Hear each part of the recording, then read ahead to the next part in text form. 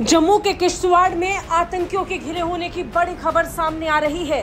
जानकारी के मुताबिक, जम्मू कश्मीर में भारतीय सुरक्षा बलों ने इस समय पाकिस्तान के तीन से चार आतंकियों को घेर लिया है। 24 घंटे के करीब वक्त पहुँचने वाला है और मुठभेड़ लगातार जारी है।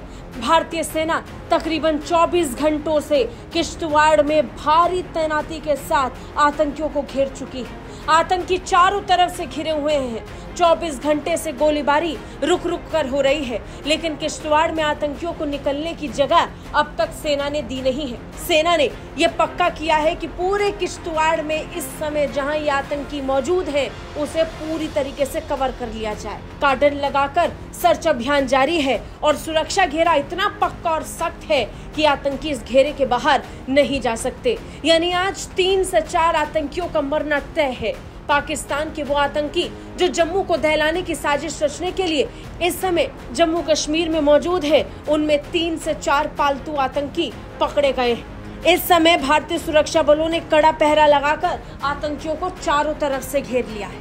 24 घंटे हो गए हैं। अब आतंकियों के लिए इस घेरे में ज़्यादा देर तक रुक पाना मुश्किल हो रहा है। जम्मू कश्मीर के किश्तवाड़ ज़िले के चैट्रू इलाके में आतंकियों और सुरक्षा बलों के बीच ये मुठभेड़ शुरू हुई। जानकारी के मुताबिक इलाके में तीन से चार आतंकी छिपे होने की खबर भारतीय सुरक्षा बलों को पहले ही लग गई थी। पुलिस ने इसे लेकर बताया था कि आतंकवादियों की मौजूदगी के बारे में उन्हें खुफिया जानकारी मिली थी, जिसके बाद किश्तवाड़ ज़िले के गुरीनाल गाँव के ऊपरी इलाके धन्नाधार वन क्षेत्र के पास सुरक्षा बलों का संयुक्त तलाशी अभियान चला। सेना के जवान और जम्मू कश्मीर पुलिस मिलकर ऑपरेशन के लिए पहुँच चुकी थी।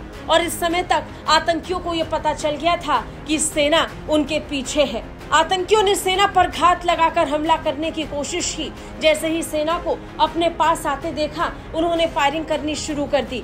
जवाबी हमले में भारतीय सुरक्षा बलों ने मुँह तोड़ जवाब दिया और धीरे धीरे आतंकियों को ऐसा घेरा कि अब उनके पास भागने का कोई मौका नहीं बचा है। ये आतंकी सिर्फ़ गोलीबारी करके खुद को बचाने की और भागने की कोशिश कर रहे हैं। लेकिन पहरा इतना सख्त और कड़ा है कि वो निकल नहीं पा रहे। किश्तवाड़ में मुठभेड़ फिर से शुरू हो चुकी है और इस बार इन चारों आतंकियों का मरना तय माना जा रहा है। बता दें, इससे पहले रियासी ज़िले के चसाना इलाके में भी बड़े पैमाने पर तलाशी अभियान चलाया गया था।